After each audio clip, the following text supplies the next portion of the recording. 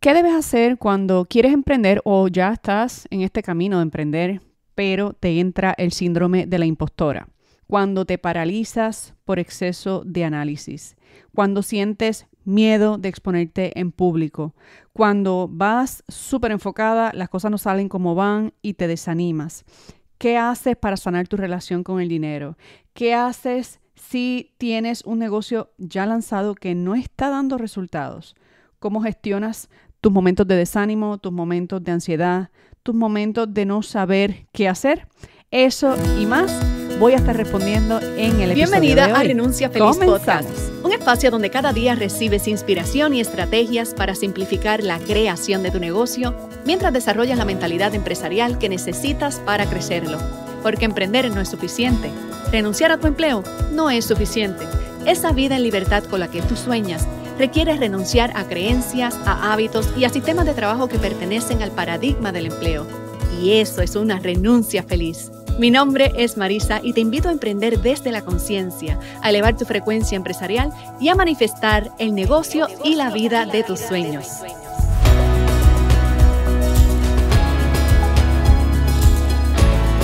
Saludos y bienvenida a tu podcast favorito. Marisa por aquí te saluda. Hoy estamos a lunes 14 de agosto del 2023. Aplauso por aquí, aplauso, aplauso. ¿Por qué? ¿Por qué tanto aplauso? ¿Por qué tanto alboroto, Marisa? ¿Por qué empezaste tan activada este lunes? Porque hoy da inicio el taller Empieza tu negocio online que llevamos anunciando por aquí hace como un mes más o menos o quizá un poquito más. Ya hoy comenzamos oficialmente, abre las puertas del taller a las 12 del mediodía, hora de Puerto Rico. Si tú estás registrada, verifica si tienes un cambio de hora en la ciudad donde estás y nos vemos en el taller. Si estás registrada o registrado, nos vemos en unas horas.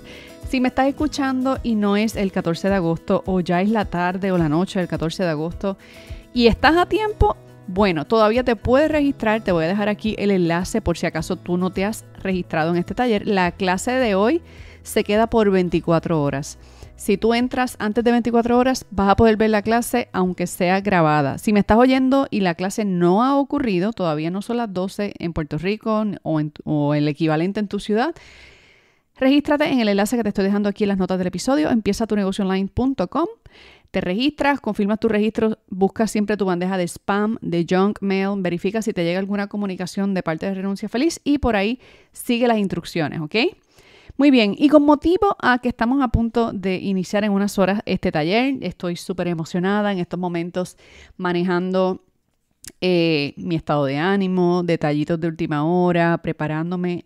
Yo, o sea, tú ves una hora de taller frente a las cámaras, pero aquí hay meses de trabajo. Aquí hay un equipo de trabajo haciendo cosas mientras yo estoy haciendo otras cosas. Muchas cosas tienen que alinearse para que esa transmisión salga, para que ustedes se puedan conectar, para que las plataformas transmitan la información. Así que tú ves una hora, pero hay días, meses de trabajo detrás. Y parte de darte lo mejor de mí en esos talleres incluye descansar, alimentarme, meditar, sobre todo conectar con este propósito y este llamado de servicio, que es lo que me invita, me invita y me convoca una y otra vez a estar en espacios como este, regalando este nivel de información. ¿Qué sucede? Cuando estos talleres van a empezar, yo acostumbro a encuestar a la audiencia que va a tomarlo porque yo todavía no he tenido dos grupos iguales. He tenido grupos con diferentes niveles de eh, destrezas técnicas o di- diferentes necesidades a nivel más como emocional o más eh, estratégicas, grupos más avanzados, más adelantados, grupos más rookies. Y en esta ocasión, particularmente, la encuesta que enviamos el día de ayer, de hecho, si tú te registraste y no has contestado esta encuesta, tienes que buscar el, el enlace que te mandamos ayer domingo con esta importante encuesta que me deja a mí saber los cambios que tengo que hacer en el programa. Hemos modificado varias cosas del programa y vamos a enfocarlo en las necesidades de este grupo que se registró. Y voy a compartir contigo un poquito de lo que ha sido el resultado de esta encuesta que hacemos justo antes de empezar el taller. Y eh, porque los datos son muy reveladores. Mira qué interesante. En esta ocasión identificamos que básicamente a partes iguales, por lo menos los que contestaron la encuesta, casi 50 y 50 son en personas con un empleo que quieren emprender o ya tienen algo montado o incluso tienen un negocio pero están todavía en su empleo. Y el otro 50% está compuesto de personas que no tienen un empleo porque viven 100% de su negocio ya o porque simplemente no tienen un empleo y están emprendiendo o aspiran a emprender, pero tengo una comunidad interesantemente mixta de personas que están haciendo su proyecto de negocio o tratando de hacerlo, queriendo hacerlo, y están todavía en el mundo laboral, versus los que ya son empresarios y, o ya, o a lo mejor no son empresarios, pero no están dentro del entorno laboral. Esto me da un clima eh, híbrido de lo más interesante. Así que esto es uno de los datos que observé y me llamó mucho la atención. Otra cosa que observé es que, por ejemplo, se repite una serie de, preguntas o de problemas en la comunidad y te voy a leer así rapidito cosas que me han llegado dentro de esta encuesta que me, te las estoy mencionando aquí porque han salido por lo menos más de 5 o 10 veces repetidas, ¿ok? No estoy leyendo todo lo que me pusieron, sino lo que se repitió eh, en cantidades significativas, ¿ok? Ok, áreas con las que eh, a lo mejor pienso que me detienen en el proceso de, emprender, temor a la tecnología, miedo a no sé qué, pero tener miedo. El miedo fue una constante, Dios mío, este grupo está muerto del miedo. Eh, dice, eh, tengo demasiadas ideas a la vez. Esto es un gran problema y yo lo veo repetido. Personas con muchas ideas y no saben qué implementar ni en qué enfocarse. no consigo clientes que paguen. Esta persona en particular me dice que tiene ya su plataforma montada, que tiene de hecho una plataforma de educación por internet y da talleres gratis, pero cuando va a vender, pues no pasa de dos o tres clientes, no consigue quien pague por sus productos o servicios. Eh, otra persona y el, mismo tipo de pregunta se repite alrededor de cómo lograr que los clientes que llegan se queden.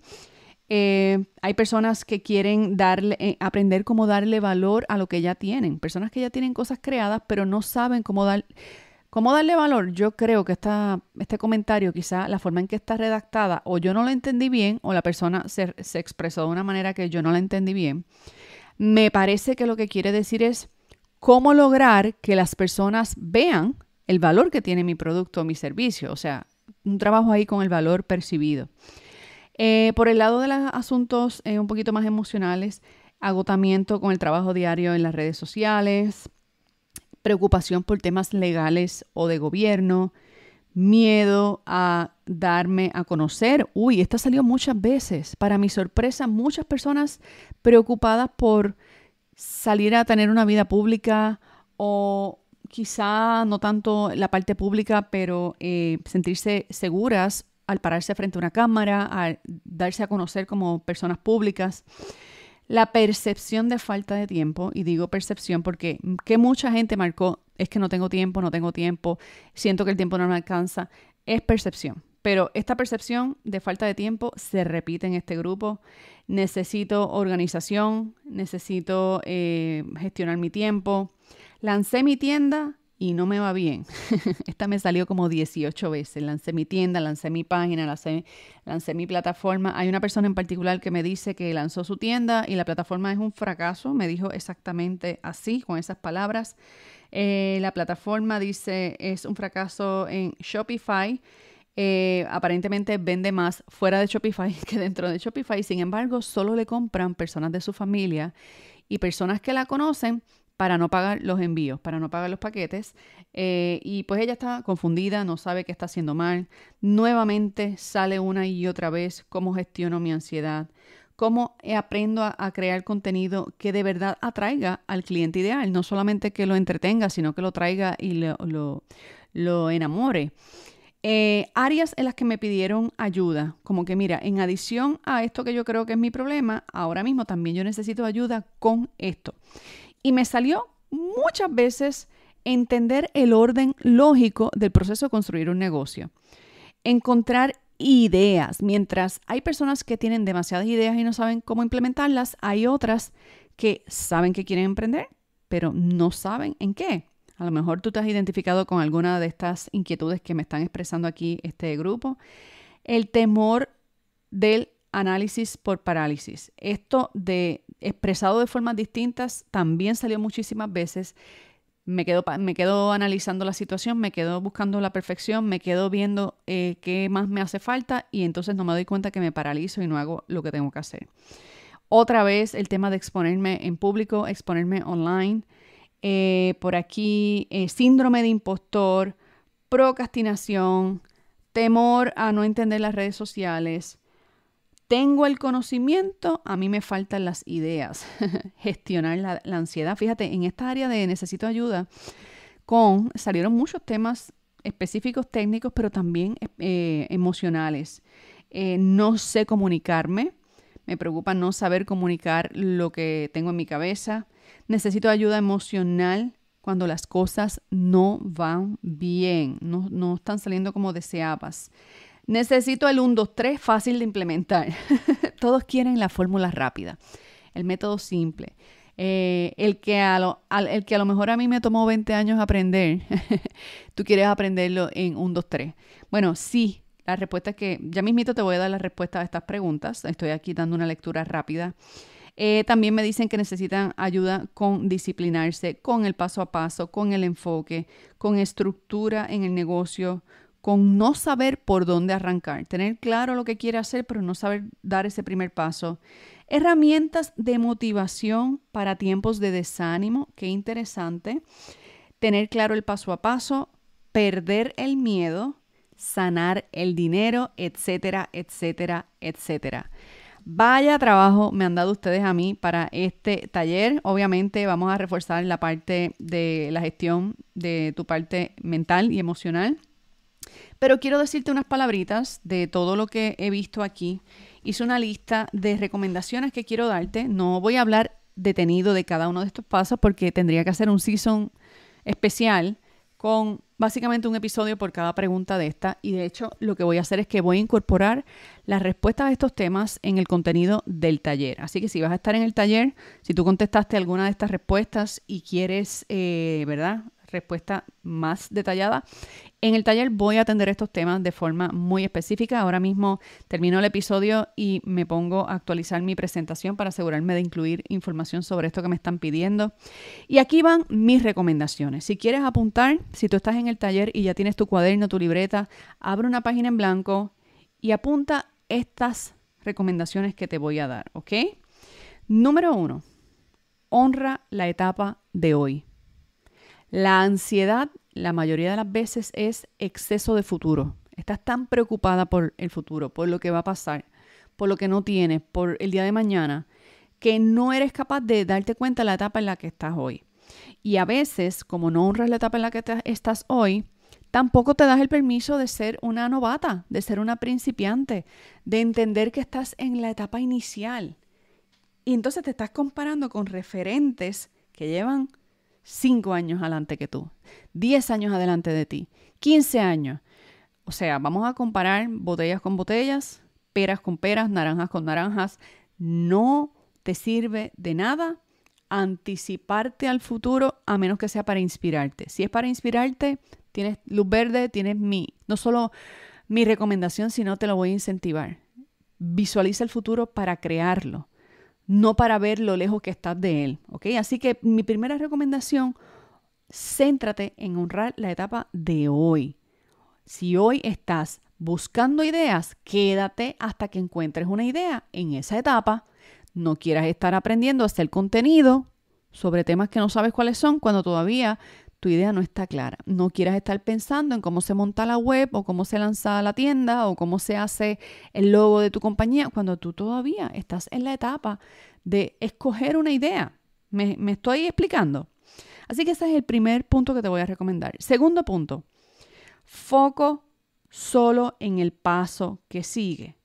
Según te digo, honra la etapa de hoy. En el punto anterior, en este te digo, enfócate en el paso que tienes que dar, en tu siguiente paso. ¿Por qué? ¿Por qué digo esto? Porque como parte de honrar la etapa en la que estás hoy, a veces quieres dar un paso que cuente por 10 y adelantarte etapas, saltarte etapas y no das bien los pasos que tienes que dar al principio. Mi recomendación es que aunque tú mires el camino y veas 50 pasos más adelante, tu foco debe estar no en el puente allá abajo del camino, sino en que pongas bien tu pie y estoy siendo metafórica, ¿verdad? Pongas bien tu pie en el paso que sigue. Y claro, para tú poder saber cuál es el paso que sigue, tienes que tener una, un mapa, una hoja de ruta que te diga por dónde te vas a mover para llegar del punto A al punto B. No te preocupes que parte del trabajo que vamos a hacer en este taller es diseñar tu hoja de ruta, preparar la hoja de ruta de tu eh, proyecto de negocio. Una vez tengas esa hoja, esa hoja de ruta, foco solo en el paso que estás hoy, no en el de dentro de un mes ni en el dentro de un año, en el de hoy. Punto número tres, haz las paces con el miedo.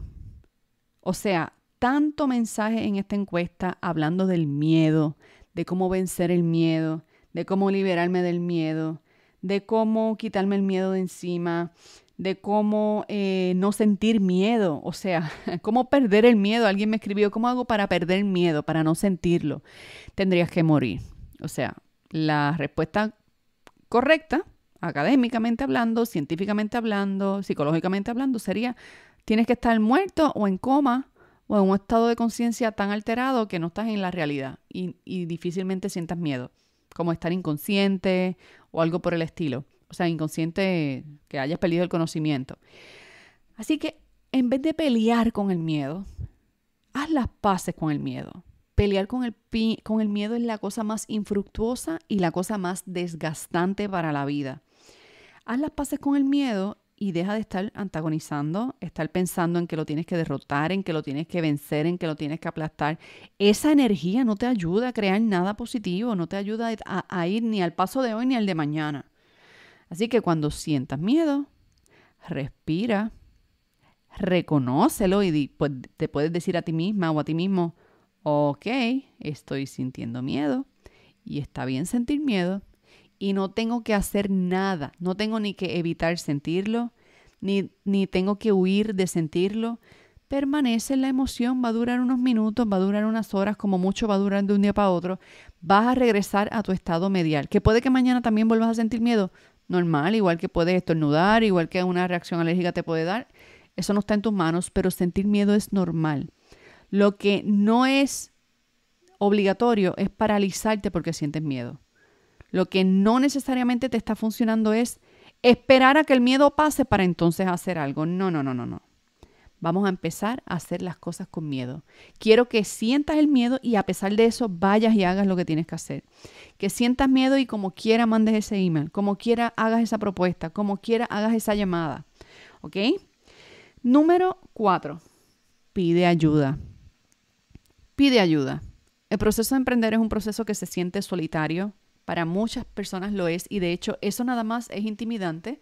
Hay personas que son más de gente, más sociales, hay otras que somos más ermitañas como yo, que soy feliz sin ver a nadie eh, así como que físicamente, eh, más allá de mi círculo inmediato, soy bastante privada con el tema mío personal, familiar.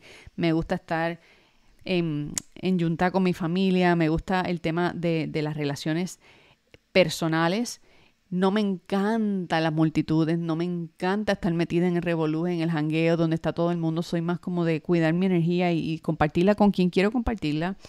Pero también soy consciente que no todo el mundo es así. Y hay personas que necesitan tener con quien hablar, necesitan tener eh, a quien llamar, con quien tener una conversación por la mañana o por la tarde. Entonces, asegúrate de que tu círculo de apoyo sea un círculo de apoyo que realmente apoye el proyecto en el que estás y la etapa en la que te encuentras. Si tu mamá te tiene una cantaleta todas las mañanas cada vez que la llamas porque tú estás emprendiendo, quizá la llamada de tu mamá, no te voy a decir que no la hagas, pero quizá esa no es la llamada donde vas a pedir apoyo. Vas a tener que tener la llamada con tu mamá y una llamada después con una amiga, con una colega, con un mentor, con un podcast que estás oyendo, con un libro que estás leyendo, que te recargue esas pilas. Y aprende a pedir ayuda. No es verdad que tienes que hacer esto sola. Y cuando digo ayuda, la ayuda viene de distintas maneras. La ayuda viene cuando tienes esa vecina o esa amiga que te dice, cualquier cosita, me quedo con los nenes un ratito, lo que tú haces tus cosas. Acepta esa ayuda. La ayuda es cuando te estás echando la casa encima y esto se, la casa me refiero a las tareas de la casa, a los deberes domésticos, y esto se resuelve pidiendo la ayuda a alguien que a lo mejor no sé, necesita el dinero y te puede ayudar a limpiar tus ventanas o a lo mejor se dedica al trabajo tan honorable de limpiar los espacios de otras oficinas o de otras casas.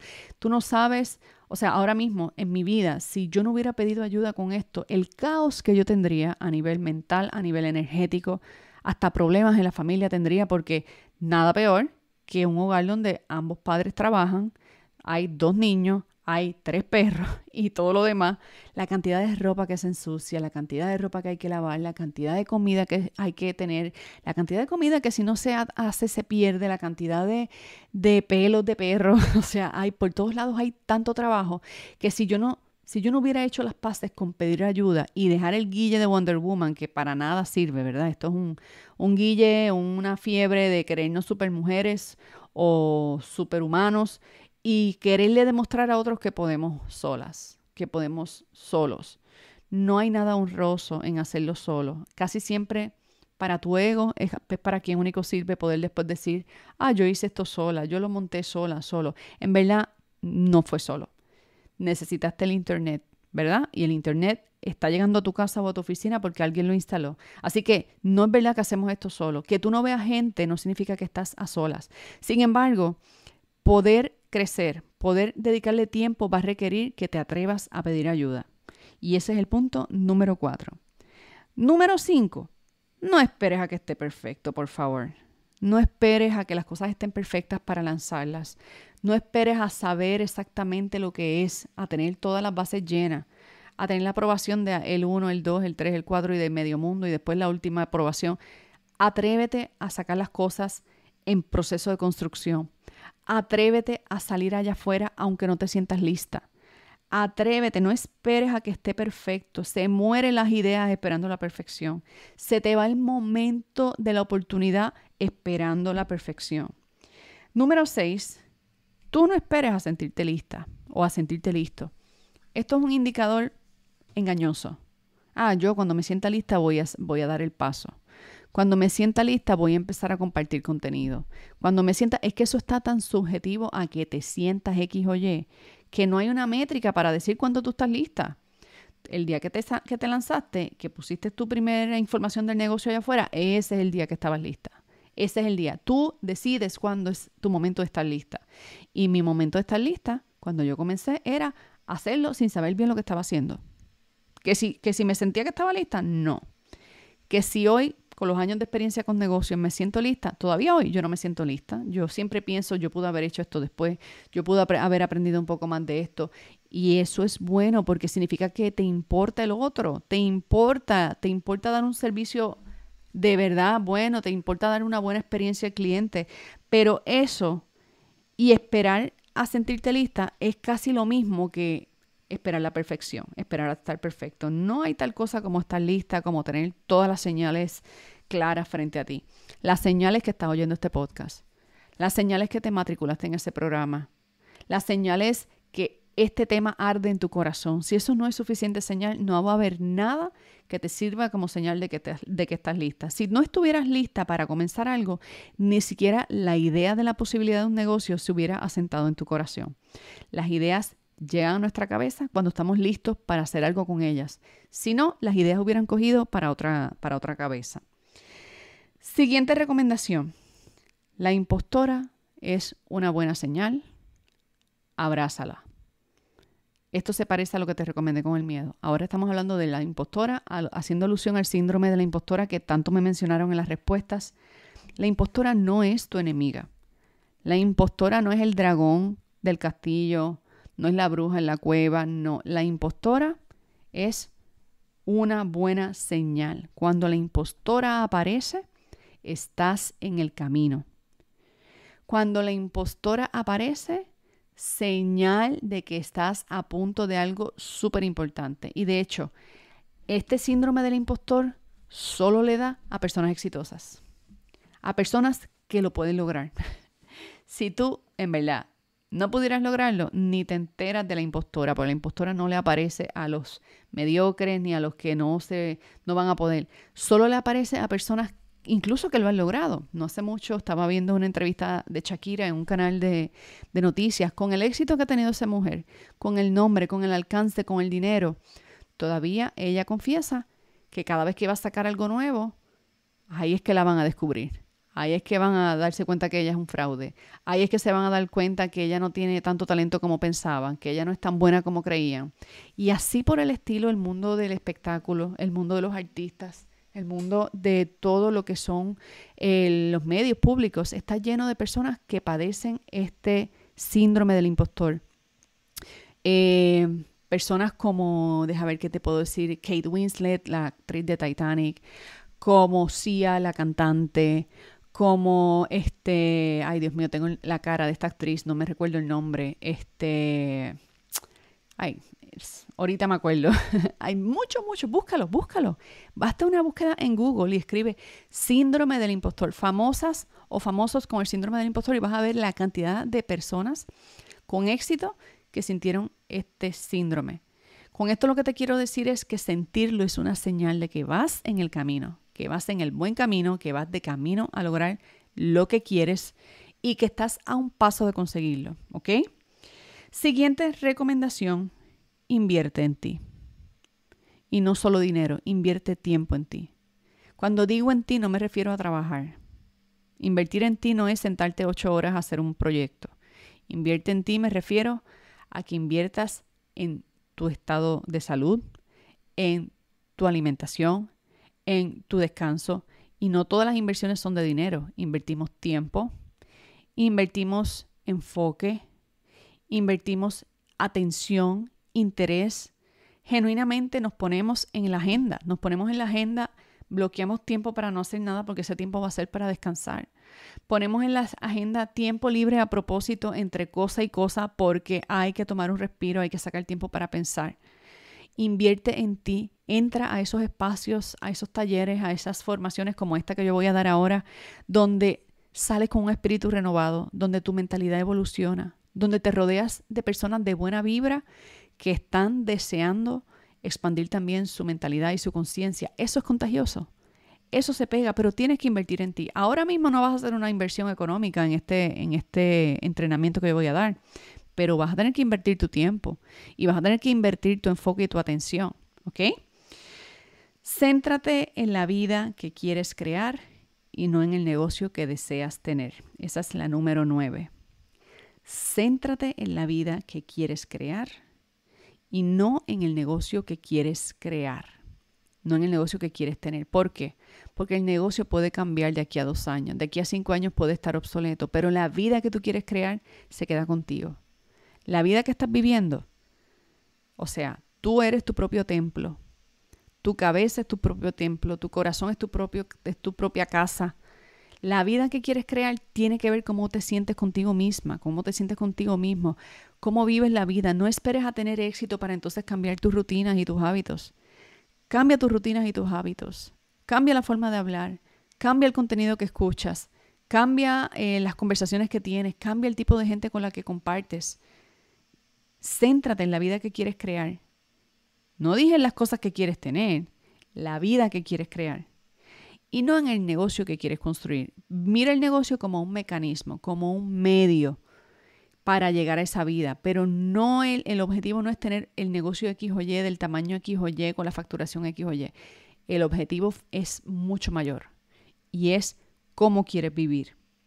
Y número 10, con esto cierro, las personas que me dijeron que tenían que sanar su relación con el dinero, el dinero no se sana. El dinero no está enfermo, la que está enferma eres tú. La que tiene prejuicios eres tú. La que cree que hay algo malo con el dinero eres tú. Al dinero no hay que sanarlo. Hay que trabajar tus creencias con relación al dinero, la energía que le pones a los temas de dinero.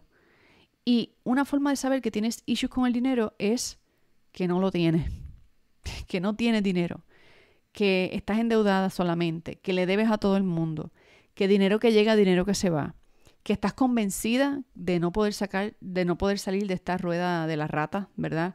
porque estás ganando justo lo que te necesitas para pagar tus cosas, eso es consecuencia de tu mentalidad, no del trabajo que haces. Y hasta que tú no, hasta que tú no logres separar una cosa de la otra, no vas a poder trascender tu relación con el dinero. Más allá que sanar, yo te diría trascender. Sí hay que hacer mucho trabajo de sanación, pero la que sana eres tú. La que sana eres tú. La relación con el dinero cambia cuando tú sanas.